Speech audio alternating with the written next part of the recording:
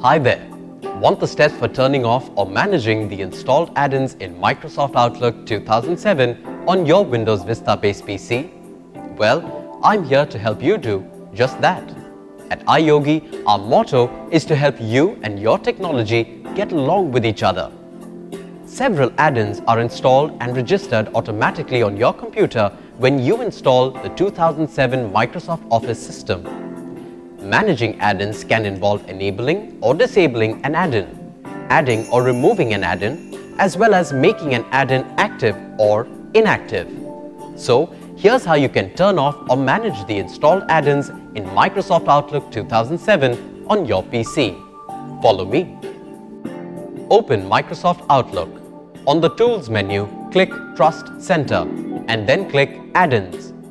In the Add-ins box, identify the add-in that you want to enable or disable and note the add-in type located in the Type column. Select the add-in type in the Manage box and then click Go. Select or clear the checkbox for the add-in that you want to enable or disable and then click OK.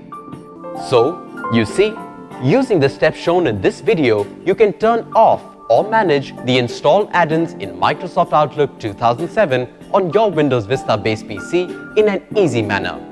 Don't you just love technology? At iYogi, we're always here to help you get more out of your PC, along with its related software and programs. If you have questions on antivirus, security, protection, or on how to work your other devices with your PC, such as syncing your printer, MP3 player, camera or router etc., just give us a call. We'd be delighted to help.